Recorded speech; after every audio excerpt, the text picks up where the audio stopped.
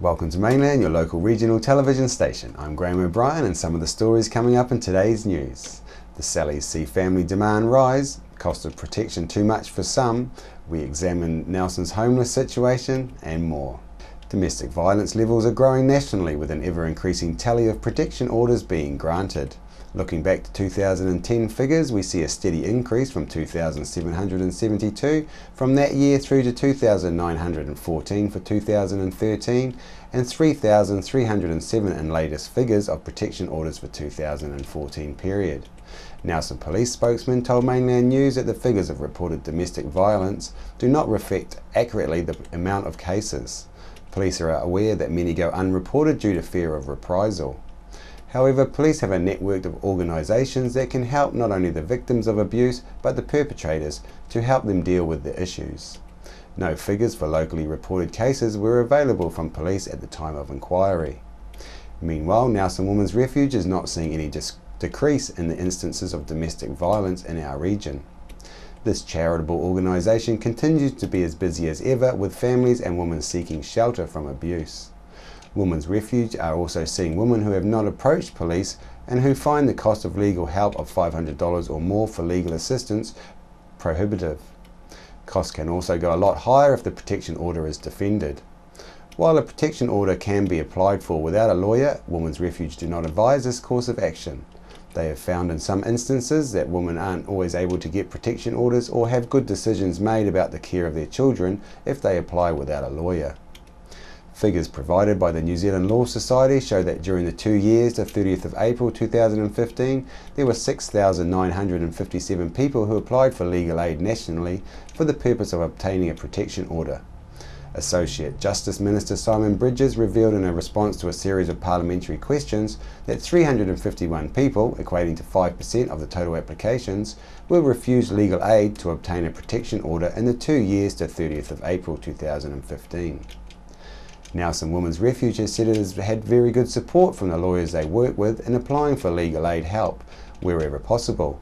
However, with the cost of at least $500, it is an enormous obstacle for women applying for a protection order, and in some cases likely to prevent them from continuing with the process. Women's Refuge Manager for Nelson, Katie O'Donnell, said she would prefer there were no fees for applying for protection orders. Meanwhile, funding is always a big issue for the Women's Refuge in Nelson, despite the wonderful support they get from the Nelson community. Katie said that in November they will partner with the car company who will be making a donation to Nelson Women's Refuge for every car sold that month, while volunteers will be out on the street collecting donations to help the refuge to continue providing its support service. We know that many triggers can increase the possibility of stress in the home, forcing people to seek help, and one of these is usually economics. This week I caught up with Nelson Salvation Army Captain Kevin Waugh, who is Community Ministries Officer for Nelson, and asked if there's been an increase in people requiring assistance. Captain Kevin Waugh, thanks for spending a couple of minutes to talk with us today. Are you finding there's an increased demand for Salvation Army services in the region? Um, at the moment, I think it's uh, about the same as last year, but there is a demand, a more of a demand for budgeting, um, which is because the money is just not going as far, um, particularly around the housing. Um, rentals are quite expensive. If they're on a benefit, it doesn't stretch, and then there's a need because they can't buy the food or they can't pay, pay for power or you know the essentials. So we're getting a lot more for that sort of thing. Right, and there, there, seems to be a growing number of homeless in Nelson. Um, do you provide for these people as well through Salvation Army? Uh, we don't have any emergency housing at all here in Nelson. We have to use what's in the community, and so for the men, they, there's a men's shelter, but that's limited by space. Uh, for the women, there is actually no, uh, as I understand, emergency housing, and so it's a matter of hunting around what is available, where can we get them, and sometimes it's it's very very hard to find. Yeah. Yeah, that's surprising to hear, isn't it? And also, the men's shelter has a time limit on it. I understand, you know. Um, I think there's a, yeah a, a week or so at the most. Um, but yeah, they're easier to find somewhere um, to to house overnight, and then try and work with them to get somewhere better. Yeah. Sure, and as we know, the, the women are more vulnerable, where they can't just kip out maybe under a bridge like the men can. No, a lot of a lot of the women that would come in here uh, have children as well, and that makes another part of that trying to find uh, accommodation. Yeah, it's a sad fact of our society at the moment. Um, can you give us just a general rundown of what services you do provide for us in the community? Okay, well, we, we get people coming in seeking food assistance, um, budgeting. Um, we can do some counselling. We've got counsellors and we've got social worker. Um, advocate for people. We'll go with them to work and income or whatever service they're trying to deal with, and they're not understanding what that group's saying. So a lot of the time, it's just being there, and they explain their story, and we just fine tune it a little bit so that, that the whoever they're talking to um, understands where they're coming from. Oh, that's great. Yeah, that's more that's more of a, a support role in, in, making sure people know what's going on and what they're entitled to. Yeah, we yeah. There's a lot of people that just don't understand what's been asked of them, and they get confused, and then they can get a little hot under the collar sometimes. Um, uh, we'll be an agent for a person that maybe has been barred from working income, you know, for various reasons, and of course they're a little bit more sensitive today with the issues that have happened around the country. So they're very, very security conscious, you know, for their staff. So we, we try and work with everybody to, to get the best income uh, outcome for them. Yeah, I mean, that's a, that's a very interesting point that you make. You know, the, that people sometimes can't go to WINZ anymore because of something that's happened before. I mean, what happened to those people, and also that, that people are not quite understanding the bureaucracy of it all. Yeah, it gets quite confusing for for some people. Uh, what's you know the paperwork? We'll get people coming in here and we'll help them through writing out what they need to do, and then um, yeah, if they've unfortunately been, I say, trespassed, then they have to sit here and we, we, we become their agent or you know there's other agencies out here that do the same thing.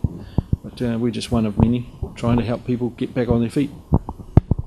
Yeah, it's great, and and we and everyone really appreciates the services that Salvation Army provides, and the other community organisations. Do you feel that there's a, a different group of people coming for help, or are we, are we still looking at the same kind of people that we always envisioned being in, in having trouble in in society? Um, I don't think it's changed at all.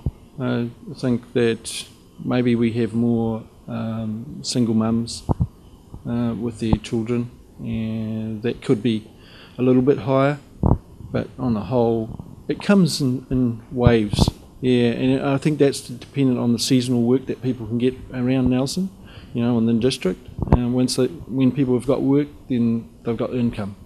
When that falls over or, or it stops, then there's a demand, and we have to meet, try and meet that. Sure, and, and any kind of emergency always puts people down and, and under their normal position, isn't it? Yeah, they, they they can't see that little that light at the end of the tunnel. They just see this mess that's there, and so it's working with them to get through that. Yeah. Great, Captain Kim Ward. Thanks very much for your comments and your time. There seems to be a noticeable increase in people in the city who are asking for donations to survive.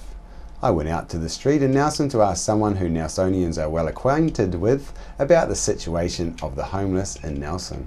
Honey, you know what it's like to be on the streets, you know the dangers of living on the streets. At the moment, do you feel there's an increase in homeless people in Nelson? Um, I don't think there's an increase in, in homelessness. It's more to the point that there's, there's more people becoming aware of it.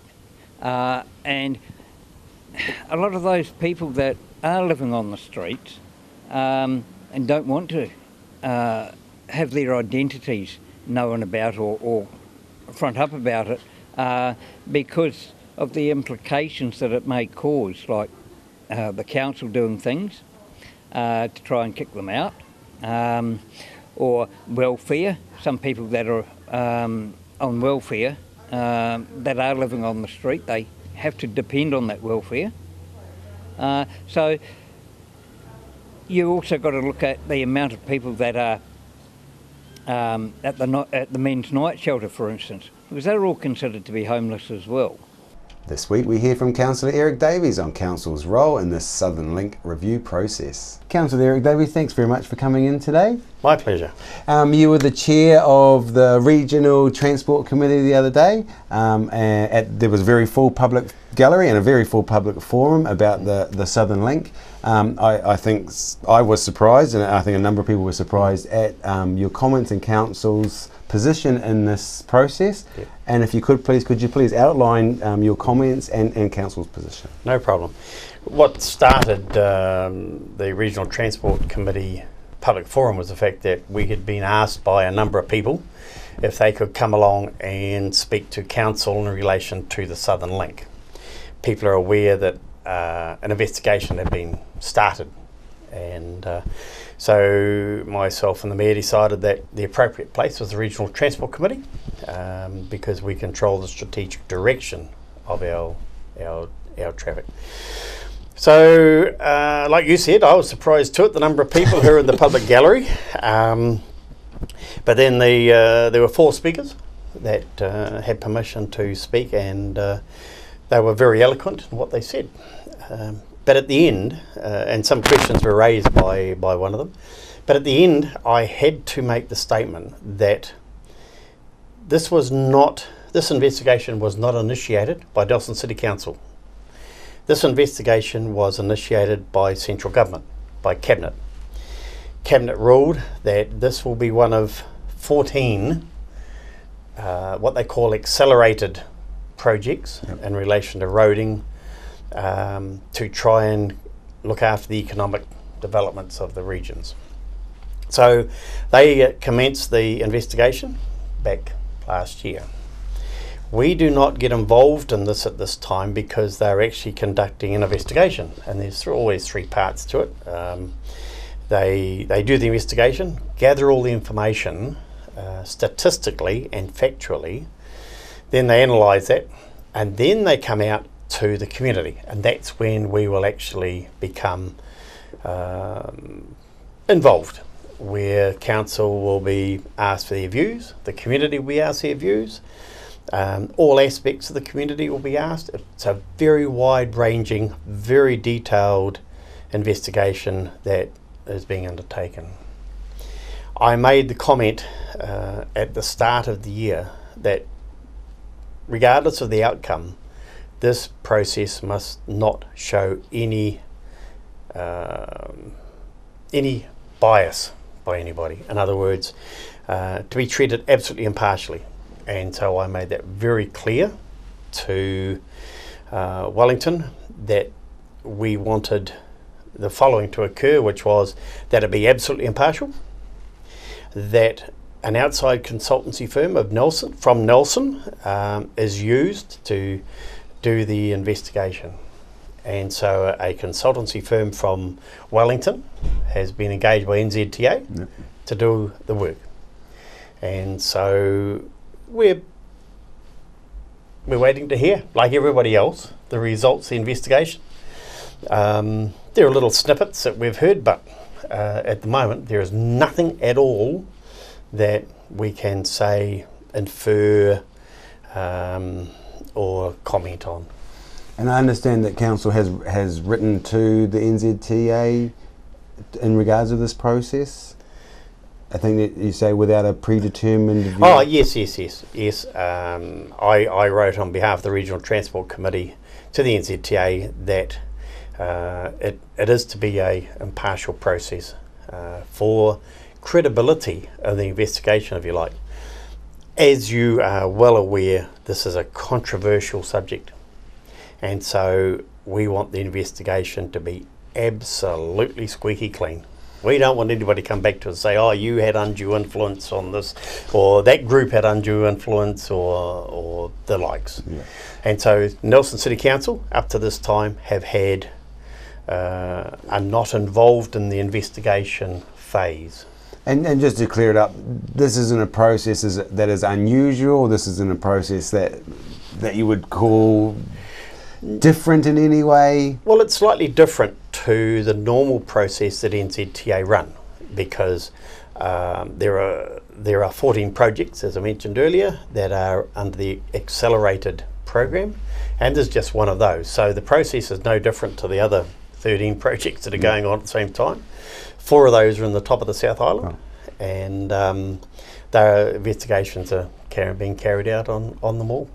Listen, thanks very much, Councillor Eric Davies. I think that cleared that. I hope that cleared it up for a lot of people, and it certainly makes um, it certainly makes it a lot clearer where our council's role is in this in this process. Yes. Because, like I say, it was very surprised. Everyone went there thinking that they were having a say to council to to ha- to have some sort of um, Yep. angle on on proceedings, but in fact, as you pointed out, at this point in time, It's not our project. yeah, It's a central government project. The final decision uh, in relation to the complete investigation will be made at cabinet level, and so uh, we have no say. It's a state highway. Um, central government will be funding it. Um, hopefully, we'll be funding it all uh, if if it goes ahead. yeah. Um, but yeah, we're, we're just making sure that everybody knows where we stand because we can't stand on anywhere. At the moment, yeah, and and, there, and there's still a, there's still a part there. There's still a process there where there's public consultation. Everyone gets Oh. Yeah. to have a say. They get the, Yep. once again we'll, we, we'll have speakers and you know Oh. and they'll be able to put their cases. Look, there'll be community groups, there'll be um, uh, communities of interest uh, who will all be involved. There will be uh, wide ranging uh, uh, areas like the Automobile Association, Road Transport Association, um, AC. All these people will be involved Yeah. uh, and will all be consulted. It's not a fly by night process, it's a very long process. Is, is there any time frame that you know of on on this on this process? I think if you go to the NZTA website right now, you'll find that there is a time frame in there Okay. That they've laid down for the Southern Link investigation, but they hope to have it back to cabinet uh, sometime uh, next year.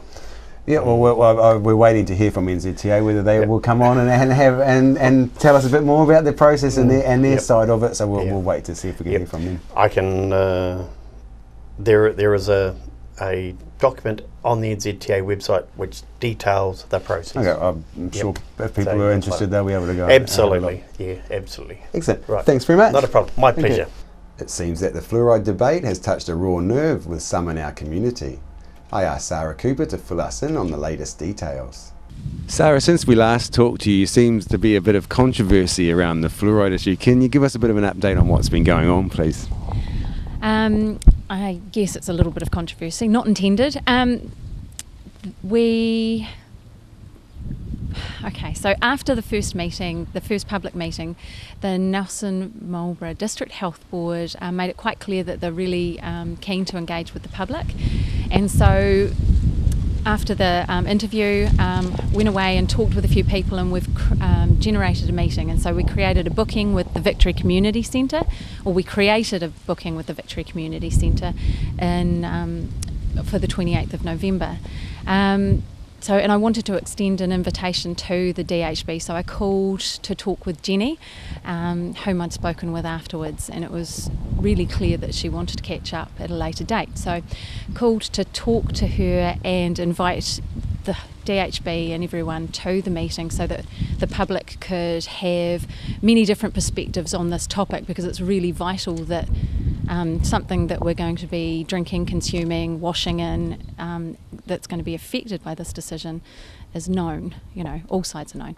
So, um, didn't get a response from the phone calls. So, um, the the last meeting, the last public meeting, I thought, well, I'll go to this and give them a flyer to invite everyone and um, listen to the meeting again. And so I did this and um, talked to the DHB and the public that were there, and um, was received really, really well. So, um, and it felt really good because um, they repeated that they wanted to engage with the public, and um, then following that, getting home, and um, later, early this week, um, after the weekend, got a phone call from Victory Community Centre saying that they wanted to cancel our booking because their position is not fluoride free. Their position is that they see that it's vastly beneficial to um, fluoridate our water. So that's worrying for me. And all all you're trying to do is present two sides of the story. Is this this Yeah. is the idea? Yeah, I'm definitely. I mean, pretty much. I mean, I am very keen on choices. Keep our choices open, you know. And fluoridating our water is not keeping our choices open. Do you not feel that the DHB has looked at both sides of this, both sides of this issue and they're presenting their side? Well, it's interesting that you asked that because um, one of our members has um, asked for information on their meetings and the information that was presented, so under the Official Information Act, and they sent the minutes pertaining to this decision. And reading through it, there is only one perspective that has been shown throughout. I mean, the science is increasingly against fluoridating water globally. 98% of Europe does not fluoridate, and the reason for that is they want to keep their water safe. That's their mandate. Okay, so on you're having a meeting on the November the 28th. Who have you got coming down to, to talk to the public? Okay, we've got Mary Byrne from Fluoride Free New Zealand, and we've got Dr. Litris, um, and we've also got people talking, uh, speaking about Child Smile, which um, Scotland has never fluoridated. Their teeth, the children, the, they worried about their te- children's teeth, and um, started a program called Child Smile in 2005 thereabouts. And their teeth, the quality of their children's teeth, and other issues have improved remarkably and they're much better than New Zealand's children's teeth today. Yeah.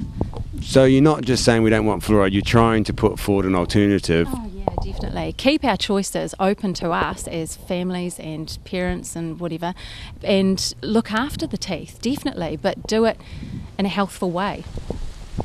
Excellent. Thanks very much, Sarah. Thank you. The Victory Community Centre Director Kendra Douglas said that the decision to pull the fluoride meeting was a decision of Dr. John Moore as head of the Board of Trustees, saying that the board does not agree with the fluoride free stance. The community meeting being held by Fluoride Free Nelson is now at Fairfield House, Saturday, November the 28th from 1 till 3 pm. For more details, please go to the links provided. It was not the way that Kieran Keane wanted to leave the Makos after their season has come to a grinding end after their semi final loss to Auckland. However, as Keane leaves to join the Chiefs coaching team after seven seasons with Tasman Makos and six as head coach, he should be proud of taking the team to the top of their game and into the Premiership League ITM Cup. Mainland TV wishes him well in his future position. After the break, we'll bring you the latest weather update and some events and happenings coming up from around the region.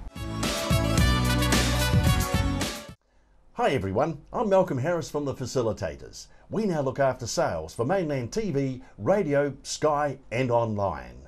New Zealand On Air's latest Colmar Brunton survey confirms mainland's large multimedia audience.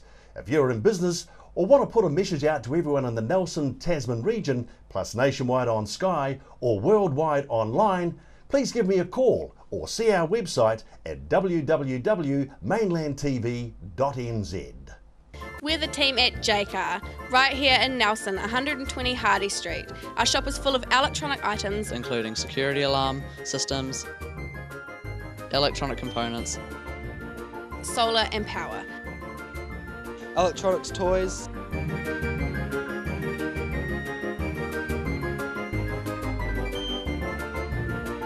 sound systems, cables, and much, much more. Jaycar. 120 Hardy Street, Nelson. I'm Francis from Nelson Auto Glass. We repair all auto glass, stone chips, windscreen replacements, scratch removal.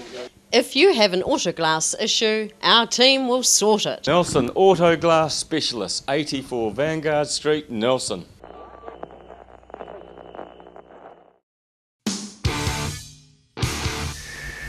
Eighty-eight point one, The Shed.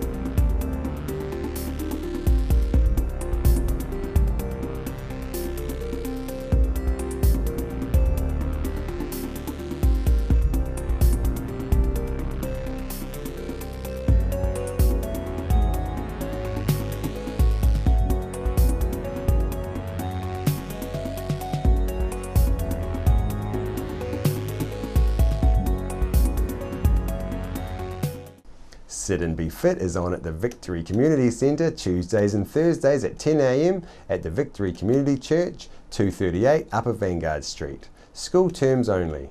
Fun while you get fitter, work at your level. For more information, please contact Shirley on 547 1433 or 021 121 8023.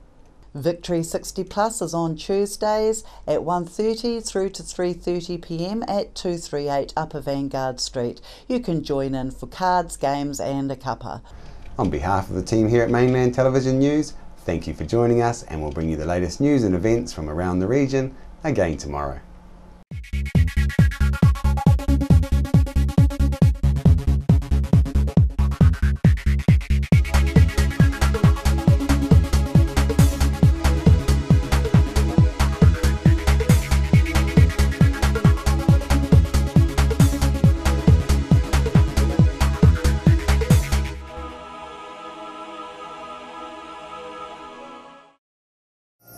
Supporting local content so you can see more of New Zealand on air. Are you tired of endless reality shows? Would you prefer to watch captivating documentaries, They have swallowed cars. exciting movies, Go ahead, load up and shoot. music for the soul, And if you think I'd ate your fish and chips, I did, you're mistaken. programming from around the world? Places to visit,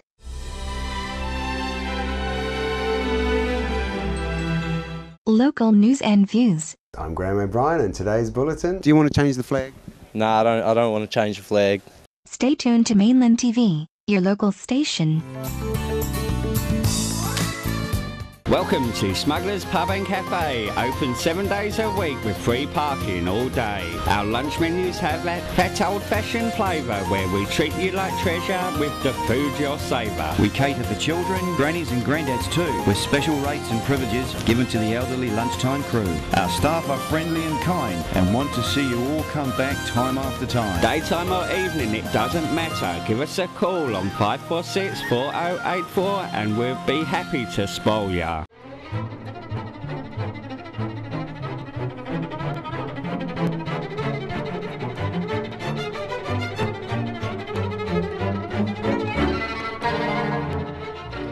Edward Gibbon, the bathroom specialist, have a great range of bathroom ideas at their showroom at 23 McGlashan Ave in Richmond. Call in and check out some of the latest bathroom designs and fittings. Edward Gibbon, the bathroom plumbing and drainage supply specialist, 23 McGlashan Ave, Richmond. Why would you want to pay as much as $1,000 for a single bed mattress when you can buy a high quality locally made mattress like this for as little as 220 And a queen size mattress could cost you in excess of $3,000, but at Nelson Beds you could have a mattress like this as low as 425 So why would you go out and spend a fortune on your child's bedroom when you can come to Nelson Beds and buy a complete single mattress and base set, a seven drawer Scotch chest, a headboard and a three drawer bedside cabinet for as little as 979 So call and discuss our custom manufacturing options and local after sales service at Nelson Beds, Nelson's only bedding manufacturer. Nelson Tire Center. Great prices, great service. Buy your own Briford trailer. All types, all sizes. See Colin Douglas for your tires and batteries. Why would you want to pay as much as $1,000 for a single bed mattress when you can buy a high quality locally made mattress like this for as little as 220 And a queen size mattress could cost you in excess of $3,000, but at Nelson Beds you could have a mattress like this as low as 425 So why would you go out and spend a fortune on your child's bedroom when you can come to Nelson Beds and buy a complete single mattress and base set, a seven drawer Scotch chest, a headboard and a three drawer bedside cabinet for as little as 979 So call and discuss our custom manufacturing options and local after sales service at Nelson Beds, Nelson's only bedding manufacturer.